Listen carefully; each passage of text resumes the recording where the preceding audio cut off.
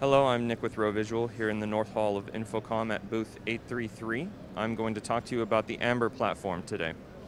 Uh, in the bottom left, we have Amber 0.9. Top right, we have Amber 1.2, Amber 1.5, and Amber 1.8.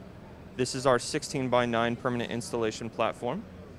Uh, it sort of incorporates uh, various new LED technologies, different packaging between 4 in 1 and classic SMD diodes, uh, alongside the latest IC drivers to provide uh, the ROE image quality in a much finer pixel pitch than had previously been offered.